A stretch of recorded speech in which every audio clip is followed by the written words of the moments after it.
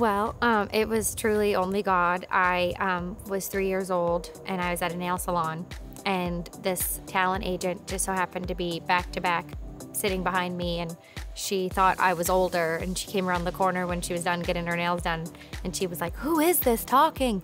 And it was me and I was only three and a half at the time. And even though she only took on kids that were a little older, she's like, I want to see you. So my mom took me to her agency and I auditioned for her and she just signed me and that's literally how I got on the path of acting. And for me it was just like my soccer, you know, like my baseball that my mom took me to and I just loved it. And just doors started to open. I did commercials and then TV and then eventually movies and just kept at it ever since. So that's how I started.